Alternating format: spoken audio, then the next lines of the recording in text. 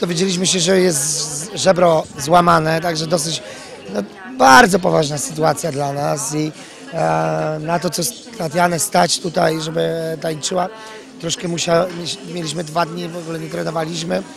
Teraz już musiała uciekać, oczywiście odpoczywać i no, musimy trzymać wszyscy kciuki, żeby, e, żeby mogła dalej występować, żebyśmy mogli pokazać ją jak w najlepszej okazałości. Oczywiście zatańczy na tyle, ile będzie mogła, ale liczymy na widzów, nie ukrywam, także zobaczymy. To podczas treningu y, zdarzył się wypadek? Tak, podczas treningu też takie troszkę zmęczenie, ciało było rozluźnione, ja ją złapałem.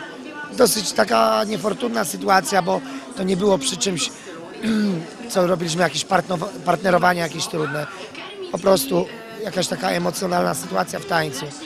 No i poszło zupełnie, zupełnie niezrozumiałe nawet, mógłbym powiedzieć. No Właśnie wasz taniec był przesycony wręcz emocjami, które też aż kapały na parkiecie. Powiedz, czy te łzy, które popłynęły po policzkach Tatiany, to były łzy wzruszenia, czy to były łzy bólu? No na pewno gdzieś tam e, uważam, że ona walczyła z samą sobą.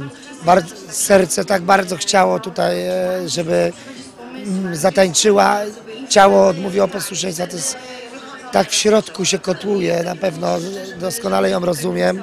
I no gdzieś udało jej się, także e, na pewno takie łzy wzruszenia. No. Nie było siły.